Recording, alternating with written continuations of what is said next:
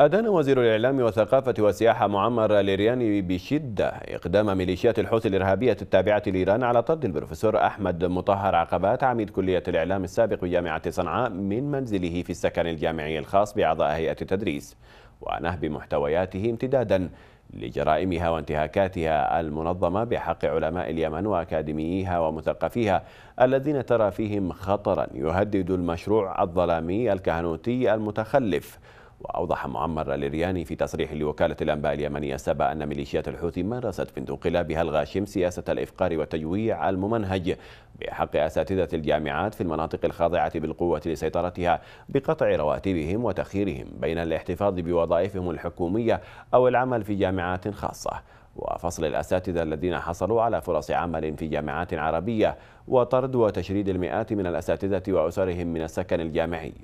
وأشار الإرياني إلى أن سياسة العقاب الجماعي وحالة القمع والتنكيل وتكميم الأفواه الذي فرضته الميليشيات الحوثية الانقلابية في مناطق سيطرتها